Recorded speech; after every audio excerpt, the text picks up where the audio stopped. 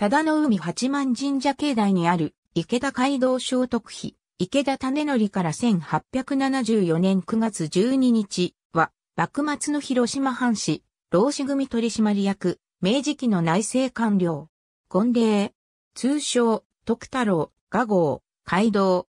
秋国と与田郡忠の海村で、医師、池田元林の長男として生まれる。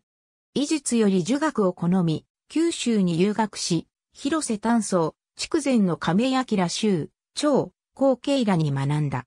その後、江戸に留学。清川八郎、伊牟田昌平、浅香五郎、村上俊平などの志士と交わり、幕府の権威を受け一時、獄に入れられた。文久三年、徳川家持の上洛を警護する、老子組取締役となる。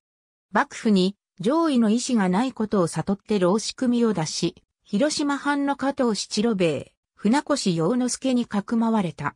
源氏元年9月広島藩士となり、国事に奔走した。王政復古後、慶応4年7月、長子軍務官兼判事に就任。